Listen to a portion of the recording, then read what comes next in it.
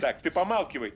Извините за то, что произошло, но тем не менее ваш коллега не выказал мне должного уважения. Я чрезмерно активно наставил его на истинный путь. Я знаю о вашей репутации. Вы по делам в Токио? В служебной командировке? Нет. Я тут по личным делам и буду весьма недолго. Когда он говорит недолго, это обычно продолжается очень долго. Со всем моим уважением. Не верьте, он никого не уважает.